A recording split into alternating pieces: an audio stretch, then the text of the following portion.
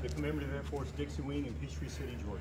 My name is Chris Madrid. I am proud today to kick off the first Living Aviation History program at Falcon Field. Today we're going to have a Stearman panel discussion with several members of the organization who are restoring from the ground up a historic uh, Stearman aircraft. Um, a little information about the Commemorative Air Force. Uh, if you don't know, we're the oldest and largest World War II flying museum in the world. We were founded in 1957, and today we have 11,000 members across the world. We have 160 aircraft that we maintain and fly through the 100% volunteer effort of all our members. Uh, Dixie Wing's based here in Peachtree City. We have seven operational World War II aircraft. We restored three of those, and today we're going to talk about our latest project, a Stearman. For those of you who don't know, the Stearman is one of the most iconic trainers of the 1930s and 1940s, and it's also a tribute to the men and women who built the aircraft. Uh, throughout the day, you're going to learn about this project, about the men and women who are making it possible. And if you want more information, don't forget to go to cafstearman.com. Uh, finally, follow us on Facebook after this broadcast. The information will be available. And uh, now I'll talk about the four different segments that we're going to share. Uh, first of all, Robin Rosensweet will talk about the Stearman and Rosie the Riveter. And then Jeff Clark, one of our members who's actually leading this project, is going to talk about the history of the type as well as an overview of the restoration. Vic Syracuse, uh, one of our friends in the aviation community, he'll share with us his journey with the Stearman, his love affair. And then finally, we're going to share with you a pretty uh, exciting moment where one of our members, Robin, is going to take her first flight in the Stearman today. So Jeff, um, Robin, Vic, thank you very much. And Robin, tell us how you got connected to this project and more importantly, why you became a member of the Commemorative Air Force. I became a member of the Commemorative Air Force, well, I went to an event at PDK several years ago and um, I've actually found them online and volunteered. And the reason I got offered to volunteer is because my grandfather was a B-17 pilot. And so I have a very much um, a deep affection for World War II. Um, very proud of my grandfather, his 35 missions, which he did complete um, successfully and came home. And so it was just, it's just a very passionate personal connection, the aircraft and all the people I've met and everything. I really enjoy it. It's a lot of fun. And being able to do this one is exciting because I've always wanted, I like cars, so I like mechanical things. So being able to put my hands on an airplane is really cool. I think this is going to be a lot of fun and just, I think it's going to be a great project. So it, it, started with the family connection. Yes, but tell me about the historic connection of this project. Um, well, we decided, one of the members, she came up with the idea of uh, kind of getting women involved to do an aircraft, um, work on one of the aircraft. And so when we found out we were got a Stearman, uh, she brought the idea uh, up to somebody here and it kind of kicked off the whole Rosie the Riveter thing because we knew, well, who better than to have a project for, or in honor of, is Rosie the Riveter. And so we are trying to, we've got six females, we've got six female members um, who are going to help us do the Rosie the Riveter project, and we just think it's a great idea to honor her. And she is also finally, we've gotten um, national recognition for Rosie the Riveter finally, and uh, so I think it's just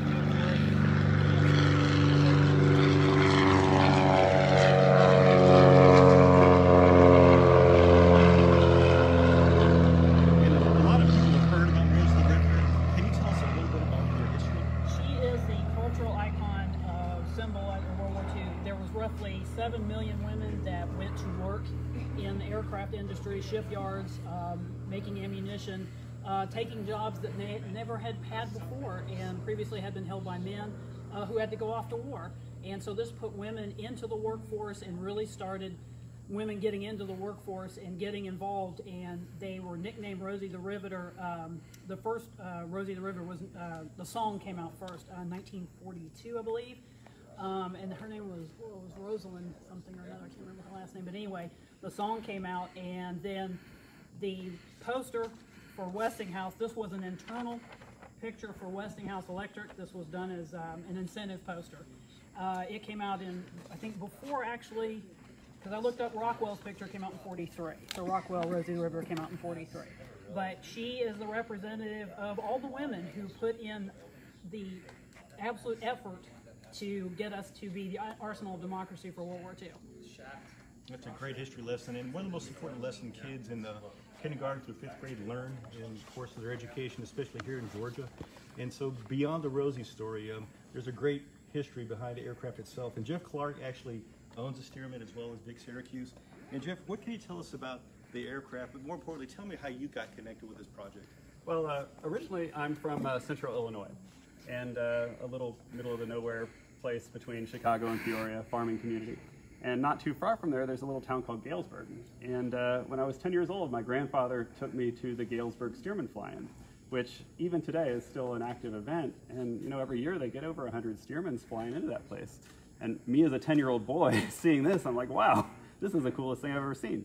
And uh, you know, my grandfather actually also had a Stearman connection as well. He was a he was a Marine in World War II. He didn't fly in World War II, but he got his pilot's license um, afterwards with the GI Bill, and he actually uh, flew Stearman crop dusters. So he was going to see the crop dusters. I was just going to tag along, but I thought it was really neat. And uh, in 2007, I actually had bought a Stearman, more or less learned to fly the Stearman, and took it back to Galesburg to kind of complete that full circle. And uh, you know, I bought and sold probably a half dozen different airplanes over the years, and a lot of times it's kind of like what they say about boats, you know, the happiest day is when you buy it and when you sell it. when I sold that Stearman, I really missed it. And uh, a couple years ago, had an opportunity to get another one. And uh, yeah, for some reason, I just uh, really like them. And uh, I have to say they're pretty much my favorite airplane. In the history of the aircraft, uh, tell us a little bit about the origins and how long they served. Well, uh, you know, the interesting thing about a Stearman is everybody calls it a Stearman. It's not a Stearman, it's actually a, a Boeing. Um, the reason that it's called a Stearman is because it has its roots with a guy named Lloyd Stearman, who, uh, you know, started early days of aviation. He actually started a, a company called the, the Travel Air Aircraft Company. Um, he started with Lloyd's, Lloyd Stearman, Clyde Cessna, and uh, Walter Beech, kind of famous names in aviation. They all started this company and started making uh, uh two place, uh, two, two passenger, one pilot uh, biplane that was uh, pretty popular in the day. And uh, they, Stearman eventually went off and did his own thing. Obviously, all three of them, since they're such uh, common names in, uh, in aviation, went off and did their own thing. But you know, Stearman started making mail planes. He had a, a few successful mail biplane designs. And uh, he, on speculation, decided to try to sell a trainer to the military. And he designed a, a Stearman called the, the Model 6.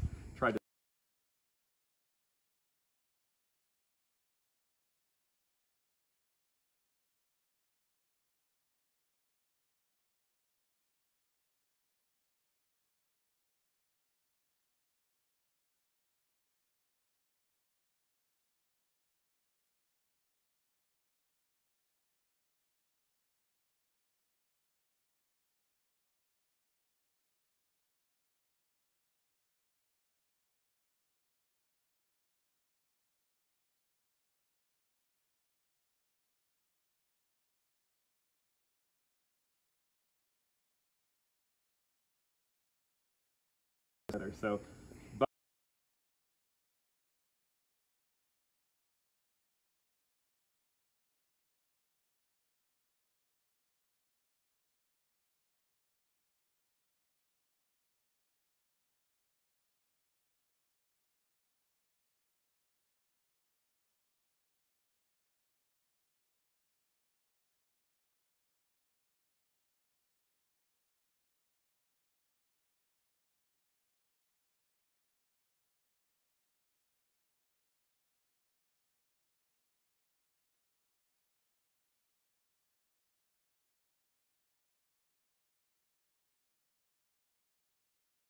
Boeing and Stearman ended up as part of the same company.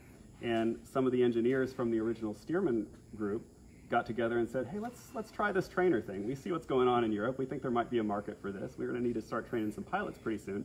And they took that old Lloyd Stearman Model 6 design and re refined it a little bit and ultimately came out with the Model 70 and tried to sell it. And the military said, you know, it's still too easy to fly. You guys got to make this thing a little bit challenging so it trains our pilots to go fly these fighters. So they uh, basically got something the military liked um, with the Model 75. And the Boeing 75 is what we all know as a Stearman. And uh, did the Army use it, Navy use it? Oh yeah, um, they all used it. Um, they, they built about 8,500 airframes and about another 2,000 airframes in parts, so about 10,000 airframes total. Um, you know, it was used kind of through the uh, mid to late 30s, all up until the end of World War II. Um, honestly, it was a bit of an obsolete design in World War II. You know, there weren't many biplanes that were flying in World War II. So uh, after World War II, they basically surplused all of them. And uh, you had all of these pilots that were leaving the service, and you had all these airplanes that were leaving the service. And some of these pilots, some of the more uh, entrepreneurial ones, decided, you know, hey, I've got 500 bucks, I'm going to go buy a Stearman. I've got another 500 bucks, I'm going to go buy a BT-13. I'm going to take that Pratt & Whitney 985 off the BT-13 and put it on the Stearman. And you know, for a thousand bucks, I'm in the crop dusting business. So, and really, that crop dusting business is what kept the Stearman alive because. Um, you know, you, you had this whole cottage industry kind of get built up around the Stearman. You've got like uh, dusters and sprayers and uh, Mid-Continent were all these companies that basically remanufactured and supported and, you know, had all the parts available to keep the Stearmans flying throughout up until the 70s and maybe even early 80s when they were flying as crop dusters. And when the crop dusting industry started to pivot to heavier turbine airplanes, um, people started to look at these Stearmans and say, you know, these are nostalgic World War II airplanes, and they started converting them back from crop dusters into examples like the one we see today. A couple things. Some of the fans of aircraft, though, they're curious about the different. You have a Stearman, you have a PT-17, you have an N2S, and you have Kaydet. What is the difference between those? Well, in actuality, there's not a lot of difference. I think a lot of the difference is, uh, you know, the, the, Army airplanes were called the PT-17. Um, or you know PT13, PT18, depending on what engine it had on there, but the airframe was basically the same. Um, the Navy airplanes were generally called the N2S. Um, they even sold a few to Canada that they called the PT27. Um, Canada didn't like open cockpit biplanes very much, though. It was a little chilly in the north for that. Um, so it wasn't super successful up there. But they did introduce the Kaydet moniker. So honestly, I'm not sure what Kaydet means or you know, what it stands for, but I know it came from the Canadians, and uh, it seemed to uh, seemed to kind of proliferate as a general moniker for the whole line. Do you know where cadet came from? I think it was just a little bit of a twist on cadet. On cadet, French, French for cadet, probably. French for cadet. I guess. Well, before we talk about the restoration, of Jane and Robin, a couple of questions for you. So, for both of you, what interests you about this project, and what's your family connection to, to World War II aviation? Sure. Sure. Uh, my name is Jane, and uh, I actually do have a World War II connection. My Mary was a young girl growing up in Greenville, Tennessee, and she was hanging around airports, got her license when she was uh, 16, but and the war broke out for the Americans to get involved, and she was too young to join the WASP, the Women's Air Service. So what she did is she went off and became a Top Gun instructor for the Navy at age 17. And I, as a little girl growing up, I knew I loved airplanes, but I didn't know why. Mm-hmm. And I finally met my Aunt Mary. I know it sounds crazy, but I didn't meet her until I was 17. And that's when I fell in love with it. And just like Robin, I was at an air show and they said, hey, we need volunteers mm-hmm. at the Dixie Wing. So here I am. I love mm-hmm. it. Great thing. Great story, Robin. What's uh, your hi. story? I'm Robin O'Reilly, and I've been a member with the CAF for about 10 years. Um, my family history is my grandfather and some aunts and uncles actually lived in Oak Ridge, Tennessee in the 40s and were working on the atom bomb unbeknownst to them. I came to a veteran event here one year and I was so impressed with the organization and I have to tell you when they crank these planes up it just gives you a chill and you are you're so proud to be an American and we're so proud of our military and the, the arsenal power that we have and mostly as a tribute to the veterans who sacrificed so much uh, for all of us, and we like to continue to recognize them. Thank you, Robert. Very nice. Uh, Jeff, a little bit about the restoration. Well, uh, it's going to be a really good project for the Dixie Wing. We actually have two separate airframes uh, that were acquired from separate sources, and uh, both of them are they need a lot of attention. Um, in fact, if you want, we can kind of walk through and show you some of the pieces we got. Yes. Well, Stearman's interesting because it's an airframe that's actually kind of a hybrid. As you can see here in this horizontal stabilizer piece, this is all metal. Um, a lot of the airframe is actually metal, but some of the most important parts, as you can see right over here on this wing, it's wood. And if you look at some of this woodwork, it's beautiful. It's almost furniture, furniture quality. And all of the wood and the metal is ultimately covered by fabric to look like uh, big Stearman behind us. But uh, as you can see, it needs a lot of attention. Um, this horizontal stabilizer here it's in pretty good condition, but there are some places where it's dented and corroded and it's going to need a little bit of repair. But ultimately what we're going to do is sandblast all of this, fix the parts that need fixed, then we'll put on an epoxy primer and basically cover it with the fabric. And uh, the fabric covering process is really interesting. You basically glue the fabric down, um, use some chemicals to basically shrink the fabric and uh, stitch the fabric to the wings, to the ribs, and that will hold it down real tightly and uh, form a nice taut surface um, for the airfoil. Um, but there's a lot of that we've got to do. The horizontal stabilizer, vertical stabilizer, all the flight controls, four wings, center section. It's, it's a big job. Um, behind the wing here, you can see the actual fuselage. The fuselage is tube steel. And, uh, you know, if, if I'm going to crash an airplane, I want to crash an airplane that's a Stearman because you're basically in this cage so that the pilot's actually fairly well protected. Um, and uh, it's, it's a very strong airframe, which was important because it was a trainer. Uh, some people might be curious why this hybrid construction, why steel and wood? Well, there was a lot of demand for, for metals and uh, some of the, the steel materials in World War II, and uh, wood was plentiful, so areas where wood made sense, they would use it. You can actually see that control stick over there. It looks kind of like a baseball bat. Um, some of the Stearmans had metal control sticks. Uh, this one has wood. Wood was directed to the ears of the person in back. It's not. It's a purely acoustic thing. It's not electronic at all. And he would yell into this funnel, and the person could hear him through his uh, little earphones there. There's no way to, to talk back. So the instructor could look up and see the student in the mirror, and the student could give a thumbs up, or the student could give a, I don't know what the heck you're talking about. And that was the mechanism that they would communicate through the flight instruction process. Um, so lots of neat little stuff, um, lots of instruments here. A lot of the instruments that we have with the project are going to need to be restored. Uh, these are the types of compasses that we have that obviously that compass needs a little bit of attention. So as we go through the restoration process, um, lots of pieces need the TLC, but we hope when we go through it, it will almost look as good as Vic's. um, there's going to be a fair amount of money required for that. Um, so we don't know exactly how much it's going to cost yet, but the, the stuff that we have totaled up that we know we need to buy, it's getting very close to $100,000. And that doesn't count the stuff we don't know we need to buy yet. So uh, it wouldn't surprise me if this approaches the $150,000 total restoration budget. Well, and this, um, this project is very much in the tradition of the Dixie Wing. The, air, the organization has restored three different aircraft over the last 15, 20 years, and it's a 100% volunteer effort where um, all the volunteers learn together, they work together, and uh, they're led by experienced A&Ps who really create a first-class restoration.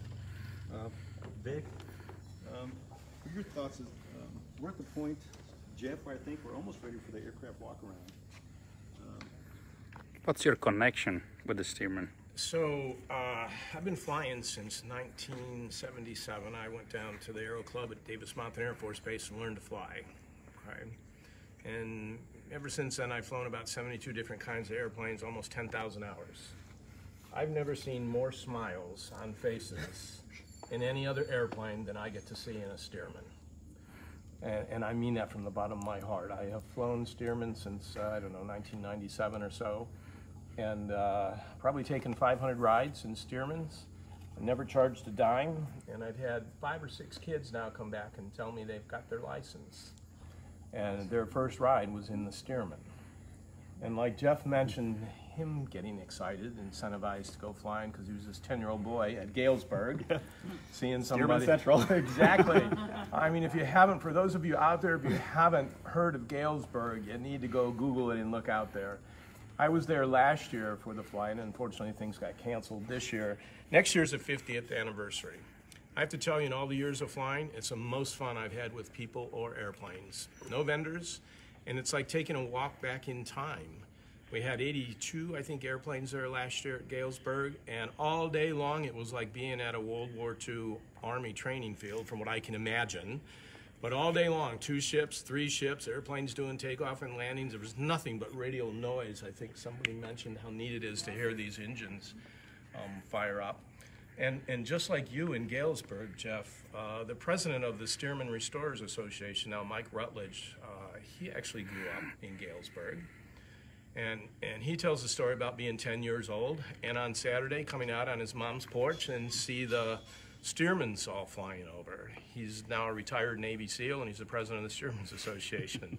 so it's just it's one of those airplanes that. Uh, you know, all those people I've taken for rides, some of them, much like anybody's taken their first airplane ride, they have some trepidation. Uh, I have yet to see anybody not smile in this mirror about the time it breaks ground. And, and that's what I'm watching all the time because you can actually see, you know, how, how that person feels. It's probably a different view than, the, than, than in the Army training period when somebody was trying to either, uh, you know, learn how to fly the Stearman or end up in the infantry okay? But it's just it's just a fun airplane that that is just you know people enjoy it. The other side of it is one of the things. Wait for the airplane to come by. The other thing I really enjoy the most of with the Stearman is meeting all of the veterans who either learned to fly in the Stearman because I don't know what the actual statistic is. My guess is it's over 80% of pilots in World War II actually learned in the Stearman before they went on to T-6s or fighters or bombers or something. But meeting those people and taking them flying and listening to the stories that they have to tell. There's a group of us every year, we go down to Pensacola for the Blue Angels show, which we fly in. And for two days prior, we take a number of veterans flying. And, and to see that group of people, most of them are you know, mid 90s now, and unfortunately, from one year to the next, some aren't, aren't there anymore. But uh, I'm going to share one story that was just uh, out of all the stories that, that I've heard down there. They were loading this gentleman in my uh, Stearman for one of the flights. And uh, once we got all connected up and everything, I got the engine started. You know, we kind of started chatting, and I asked what his connection was to the Stearman, and he told me he'd never actually been in an airplane. But he was the first person decorated in World War II for firing a shot in anger. Turns out he was on the deck of the Hulbert in Pearl Harbor and had come up for a smoke. He was a Navy seaman. And uh, he saw this Japanese torpedo bomber go by, and he said, that didn't look right. And uh, he grabbed a deck gun and started firing that Japanese torpedo bomber. So he was awarded a medal. So here we are on a flight of four. We would go out over the beach and fly prior to the Blue Angels show. And uh, he's having a great time from what I can tell. Uh, he's 93 years old. So we land, we taxi back in, and the propeller comes to a stop, and there's about three generations of his family there. And first things you hear, how was it, Dad? How was it, Gramp? Know? And from the front seat, I hear, that was the best thing I've done in my entire life. He says, but next year I'm bringing binoculars so I can see the girls on the beach better. I was so proud of him. you know? so, Great story. Anyway, it was just it's a, it's a fun airplane. You know, it's just it's just a great airplane to share with everybody. Jeff and Vic, a question for you. So uh, there are about a thousand of these planes flying today, give or take. There are 500 aviation museums across the nation, and a lot of people share this passion to restore and preserve history. How important is it for us to work with other like organizations to share our work? So as I tell everybody, uh, first off, I think that's a wonderful question because one of the things I think about all the time with these Stearmans and some of the other warbirds around here is that I try and remind everybody we really are just caretakers for the next generation. And it's really on our shoulders to inspire the next generation, much like Jeff and others. You know, at 10 years old, saw an airplane and maybe it, it just got something going in their heart and a passion for it. I think if we don't do that, these things are going to become museum pieces. And you're not going to see too many happy faces in a museum. It would really, really be sad to not inspire the next generation of Mars astronauts uh, by us not, you know, doing what we should be doing by sharing. At least that's my two cents on it. Yeah, Jeff. and uh, completely brick construction, you know, that's becoming a lost art. And you know, by by uh, working with these groups and cooperating and sharing that knowledge and keeping it alive, it will just help keep it going and uh, hopefully spark the interest that, that they talked about. Robin, Jane, and Robin, what do you think about working with other organizations?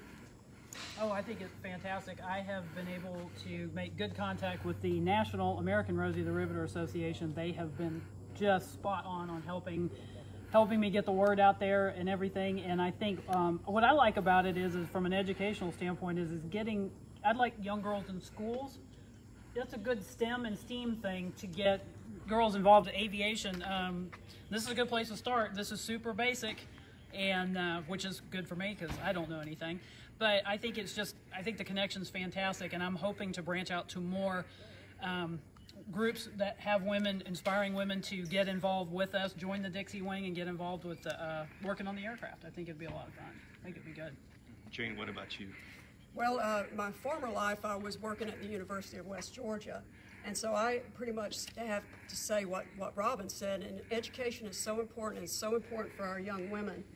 And I, I just, I, I see this as such a wonderful educational experience and also to get young girls excited about getting in the STEMs.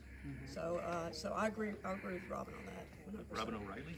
Yeah, well, they say that uh, we're going to have a, a pilot shortage in our future. So, what better way than now to start, especially our girls, into the aviation and the science and engineering field so that they fill the role of pilots today and in the future? Great, thank you. And uh, Vic, I think it's time for our walk around. Okay, All right. let's take a look at the airplane then. Basically, from a overall picture, when you walk up to the airplane, it's important to make certain there's no leaking fluids. So there's a few places you want to look. It would be underneath the main wheels. There is fluid both in the brake system and in the hydraulic oleo struts. So it's, you know, quick glance underneath those, make sure there are no leaks. And then walk around the airplane. As Jeff and others have mentioned, it is a fabric airplane. So it's important there aren't any holes in it. Okay? Uh, you want to check for movement. I think we've got the controls locked on this one, but you would check the, these are the ailerons for up and down movement. Make sure it goes back and forth to the stops. I take a look at the flying wires. Okay, these are actually landing wires and then flying wires. Make sure they aren't broken. See that, but the jam nuts actually are tight at each end.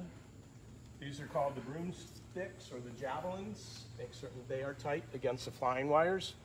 You'll see when we go around to the other side, I'll usually just grab those and make certain that they're, they're tight. I'll just do a casual glance down the fuselage and make sure there are no streaming fluids from the engine. Yes, they're radial engines and they leak, uh, but we try and make them so they don't leak too much, okay? And certainly anything that would be streaming down the fuselage would be a, uh, you'd want to look at it, okay? Most likely oil, either from the propeller governor, from the propeller control mechanism, or from the oil lubrication system. With that, we'll come around to the rear side. Tail wheels, extremely important on a tail wheel aircraft. Okay, so you want to pay attention down there. I'll usually grab the airplane and rock it back and forth and make certain everything in there is tight. You don't hear any clicking. We do have flying wires on the horizontal stabilizer here and the vertical stabilizer. Just want to kind of tap those. Same thing on the bottom here. Okay, one on each side. Jam nuts at each end. You have trim tabs on the two elevators. You want to grab these and make certain they're tight. Right?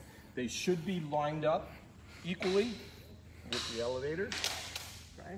What I'll do in the cockpit is set it for neutral trim and then verify that that's actually where it is. Okay? We have a rudder here. I'll make sure it moves left and right to the stops. Make sure the trim tab is secure. Okay? We do have lights on this, primarily strobe lights for recognition, although it is equipped for night flight. Uh, I'm not one yet to fly a Stearman at night. okay, there's a big blue flame that comes out of that uh, exhaust stack over there on the right-hand side, and uh, you can't see it during the daytime. And sometimes when we can't see things, we're better with that. At night, there's a big blue flame about 12 inches long coming back at you. Okay, come around this side, same thing. Check the flying wires. Uh, you want to make sure all the inspection panels are closed. An easy way on the Stearman to tell that screws are actually locked is they're in line with the surface. Okay? So if you look at this, if you look at anywhere there's a panel, it's in line with the surface, all the screws, so you can verify that everything is tight. More than one Stearman has been lost because somebody left the panel open on takeoff. I actually had a very good friend lose a Stearman, as a matter of fact, because of that. We have a baggage compartment here. You want to make certain you've got your airworthiness certificate and your, you know, required documents usually are in here, your registration, weight and balance, etc. Make sure everything's secured. Come around this side, just like the right side of the aircraft. We're going to check the aileron, check the panels that they're closed, check the flying wires and the landing wires. I'll come around to each side and I'll just give it a good little cut. Anything loose we'll come around this side. This is your pitot tube. It does, it measures your airspeed. It's also the static source for this airplane. And that's what measures your height above the ground. Right, so you want to make certain the cover is off of this. Typically when we park outside, we'll put a cover on this. Uh, and you want to take that off. Airplanes, you need the, you need this open to take off and land so you can understand what your airspeed is. Come around this side. Again, there are panels here. Don't normally open these up on pre-flight. I didn't think, no, we probably could have had one open with a display. We've got an oil here. You'll check that for quantity. Uh, somewhere between three and a half to four gallons is what works in a Stearman. Come around here, check tires as we discussed. No leaks, either at the strut area down here or from the brakes on each side. I'll check down here, make sure we have no fluids coming out um, from the engine. And then we come around here to the front and you want to check the engine that all the spark plugs are actually tight. No leaks, no fretting uh, uh, from cylinders, maybe not being tight against a crankcase. This is a constant speed propeller, so you want to check the counterweights and make sure there are no leaks here as well. And then one of the things we'll do when we pull it outside, until the airplane goes by here.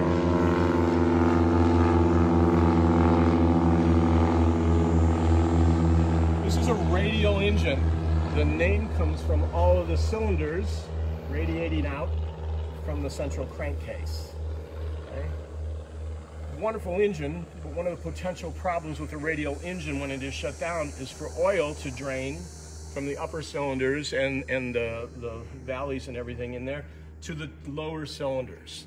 They can, oil can actually accumulate between the piston and the top of the cylinder and hydraulic fluid as oil does not compress. So it's called a hydraulic lock. What you want to do before you go fly is pull this propeller through two revolutions. I count seven cylinders when I do it. That way we know we pull it through each of the seven cylinders at once. And you can actually feel a hydraulic lock. It will come to a stop. If you were to hit that with your starter, you're going to end up doing a lot of damage to this engine. Okay, so you want to pull it through all the time. We have uh, drains on each of these cylinders on this particular airplane. Some airplanes do not, and if you do catch a hydraulic lock, all you do is pull a spark plug out and the oil then drains. Okay? And then uh, I would look up on top. Uh, we need fuel, okay? There's a fuel gauge that's right in front of the passenger, and the pilot can see it up there. Right now we're a little more than half fuel on that. We carry 46 gallons of fuel. You would think it, it like it's staring you right in the face, yet Stearmans have crashed running out of fuel. I, I don't get that one. Okay?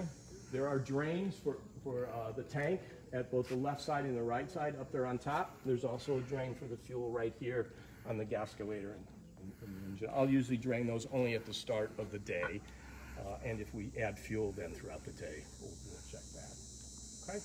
There's an air intake on top up there. You want to make certain, you know, if it's sat for any length of time, nobody's done anything up there, put a cover on it, etc. That is your air intake.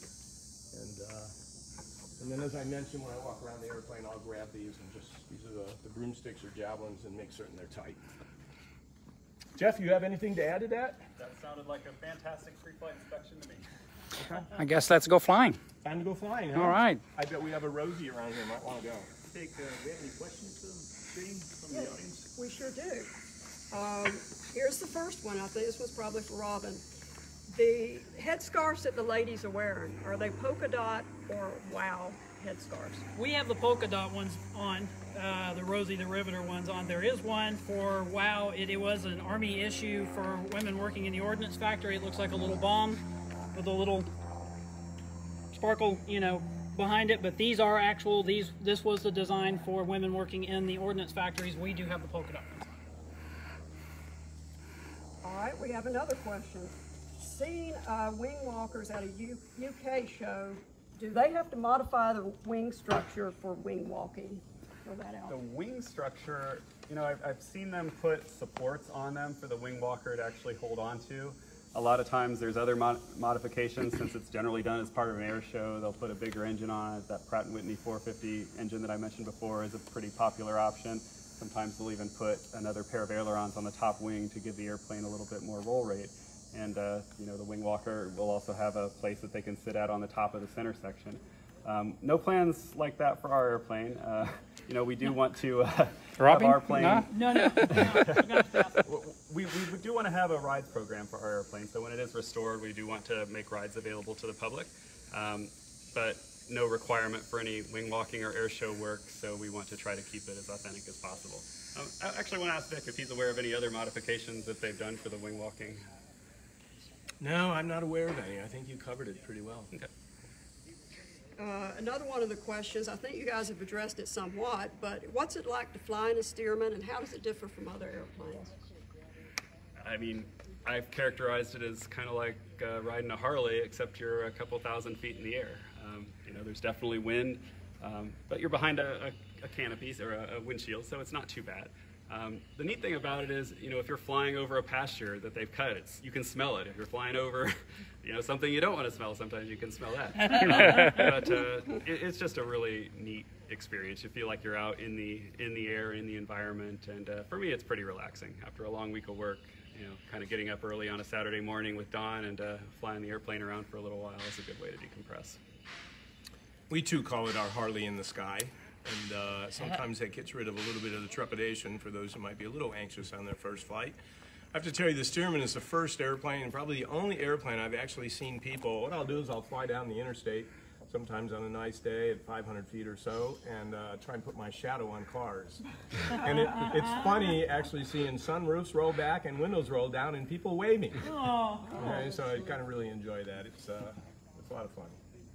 Flying wise, though, it can be a little bit challenging. Like I said before, it is a trainer. It's a trainer. It was it had into it designed some tendencies that uh, you know you don't find in modern trainers. You know they try to make them as easy to fly as possible. They tried to make this one a little bit more challenging to fly. So uh, that very narrow landing gear, the very high center of gravity, the fact that it's a tailwheel airplane.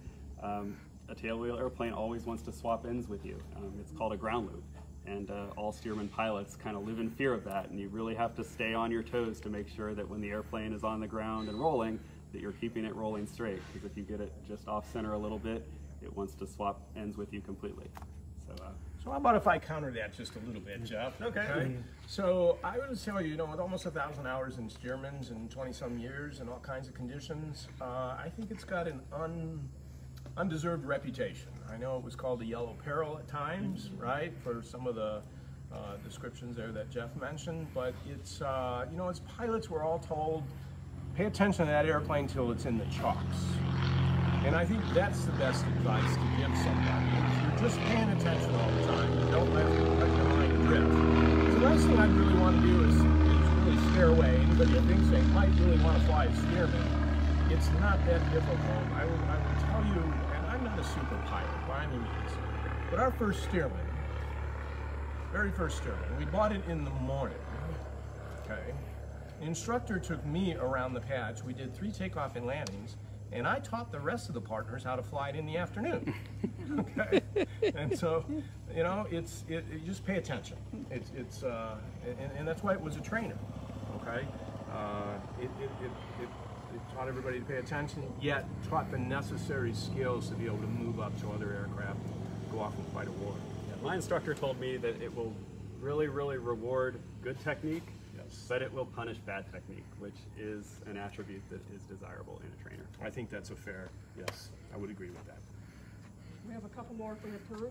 Sure, we do. Uh, how do you join the Dixie Wing and how can I find out more about this project? One. I'll, I'll take that. So a couple of things. First of all, we encourage everybody who has an interest in either aviation or history or even inspiring future pilots and mechanic, join the Dixie Wing. Um, we actually have a website, uh, dixiewing.org, that will have all the information you need about this particular chapter. And then on top of that, we have a national organization based in Texas that also has a great deal of information about other chapters in case you can't get to us. But, uh, but the other piece is we're actually hosting a, uh, a new member information night on October 14th at 7 o'clock. It's a Zoom meeting. You'll find information on our website. So if you really have the itch, if you just really want to know what, it, what it's like to get involved, then join the website. Um, uh, go to the website, join the Zoom meeting, and we'll share with you all the information you need to know to become involved. Okay, the- the last question we have is, do you receive any contributions from the government or the military? And, and along that line, what donation levels will you have for this project? Uh, I'll take the first part, you have the second? Yeah. So today, we're a hundred percent volunteer-funded organization, which means uh, the members, through their, their contribution of time and their, their talent, we're able to raise money to keep these aircraft flying, including this project. Uh, Jeff mentioned we got off to a very fast start in July, but we can also see that we're at a point where we could use some, uh, some donations to help cover costs, for example, for an engine purchase. And our goal is to do it right, but we could definitely use your help. Um, Robin, you want to answer the second? Uh, the donation levels, we're still working that out at this time. Um, if you check our keep check of the specific website for the restoration, which is cafstearman.org, at some point, hopefully in the next few months, we will have that outlined on our website as to exactly what our donation levels are. But we do have a currently have a donation button on that website. That link is currently active and available. All right. Should we go flying? Okay. All right. Great, thank you. All right, we'll stay live while we get the airplane out on the ramp. I'll be talking to you guys because, as you can you can see from my uh, broadcast, we have quite a few airplanes here. As Chris Madrid mentioned, we have seven um, World War II aircraft. Actually, the T-34 right here, it's not uh, World War II era, but uh, it's considered a warbird. Right here we have the mighty FG-1D Corsair.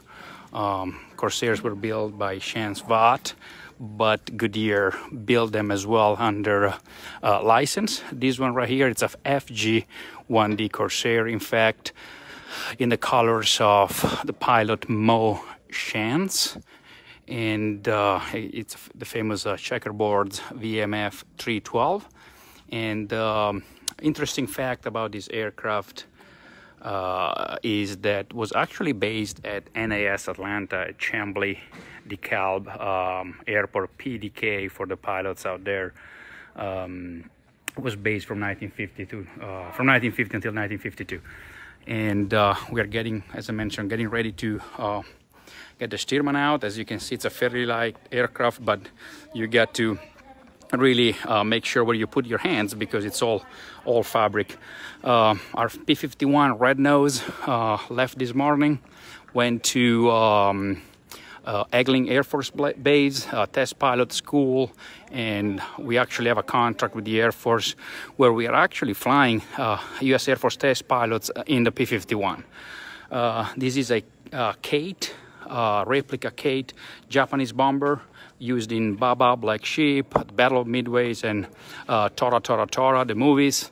Uh, it was originally built uh, on a B-13 uh, platform, and uh, the Universal Studios converted into a Kate bomber. Right here we have our P-63. Um, that oh well. I might have to go real quick here because they're about to crank the engine. This is our P63, which flew in 2017 after 16 years uh, restoration. We have our SBD down last year without an engine. The engine has been overhauled. And uh, that's it for now. We also have a T6 back here. And now the best part. They are going to crank now. We were supposed to have a golf cart, but somebody took the golf cart, so we'll have to walk uh, all the way up to the taxiway.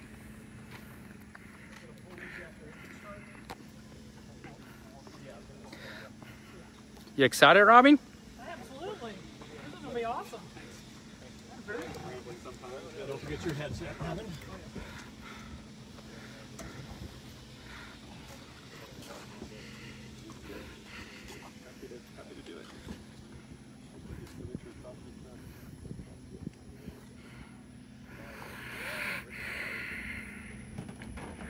All right. Beautiful day. We had uh, quite a lot of rain the next in the last few days here in Atlanta, but uh, today actually it's perfect. Not too hot, not too humid, and uh, feels good. About probably 65 degrees, 66. You can see uh, you can see our hangar here in the background. Few of the members came out. The museum is still closed. We are not allowing any any visitors, and we are allowed a maximum of 25 members at a time, obviously due to uh, COVID. Okay, brakes on. Mike is taking the chocks off.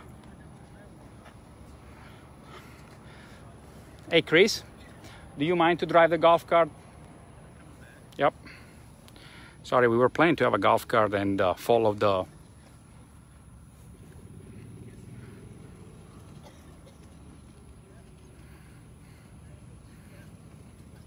We're gonna use the golf cart to follow the plane.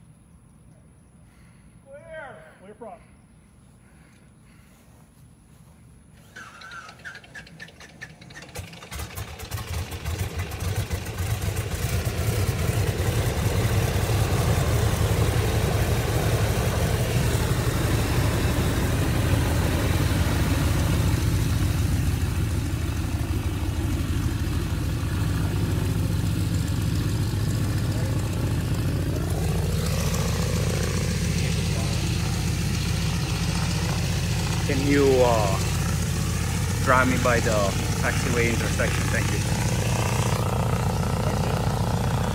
Yeah, yeah, Unless you want to sit on the back and film the back seat in. love it.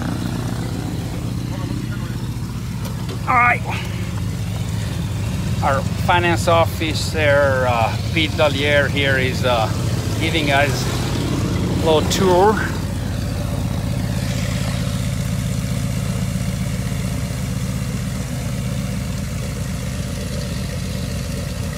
Right, warming up, uh, warming up the engine, bring it up to temperature. All right, ready to go.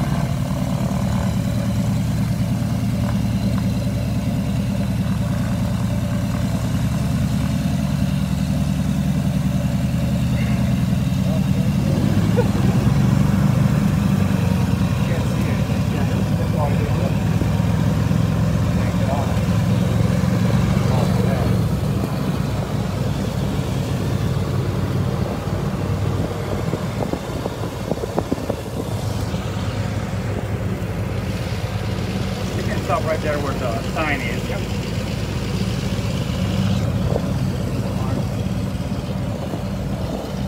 Perfect.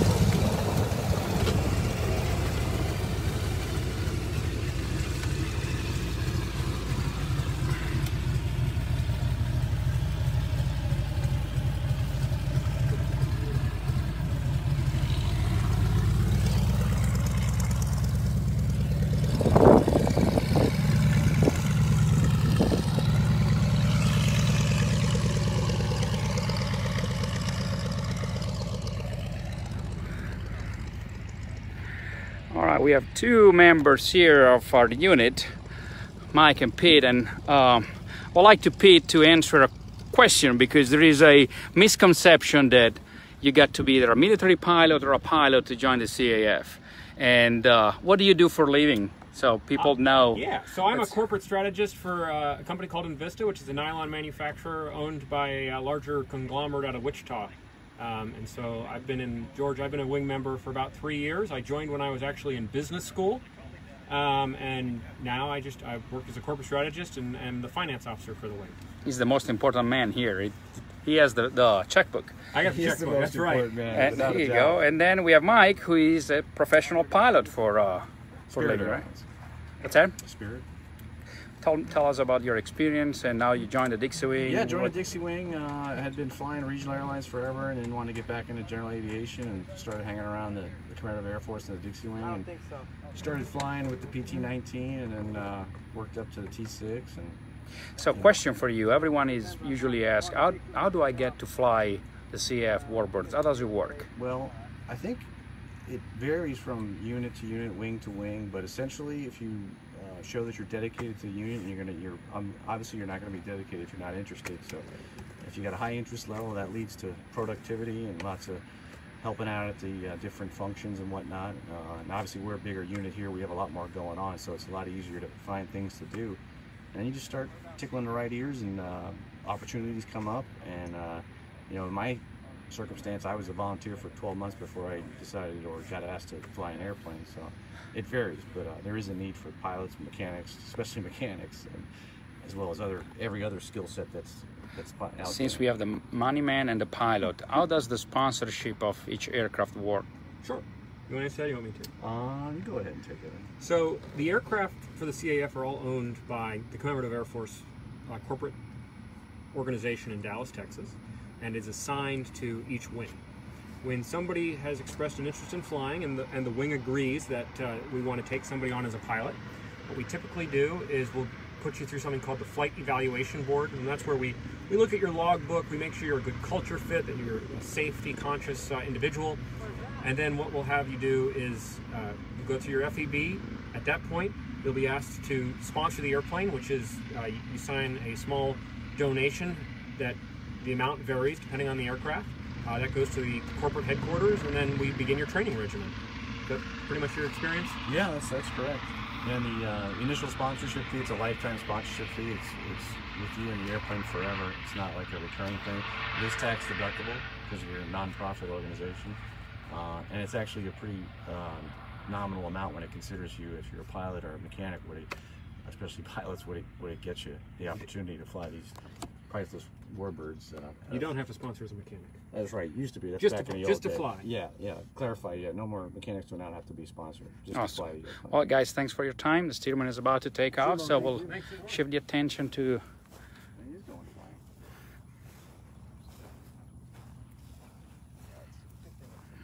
All right, you. If you look at this between the wind socks, you'll you'll see the airplane. I'll try to zoom in. Obviously, the quality, it's what it is, guys. But I think you can get the idea. Airplane's in the center of the runway. Keep an eye on it because Vic has a little surprise for us. Here he goes. Full power. Tail is up. Wheels off. And listen to this beautiful noise. Or music for some.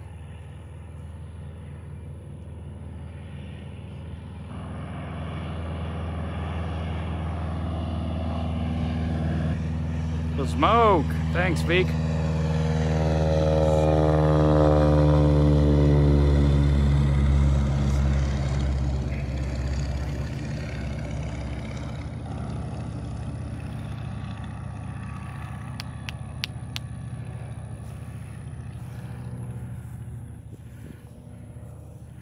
All right, all good things have to come to an end, right, Chris? Yes, yes, Bill. Thank you very much for everyone to joining us today. We hope you enjoyed learning about the Stearman. We hope you also learned a lot about what we're trying to do to keep all these aircraft alive. Uh, if I could leave you with one thought, uh, the Commemorative Air Force is a 100% volunteer organization. We restore and fly World War II aircraft as a, as a thank you to all our veterans and to the nation. But most importantly, we're also trying to help inspire future pilots, mechanics, and citizens. So keep them flying. Look forward to seeing you next time.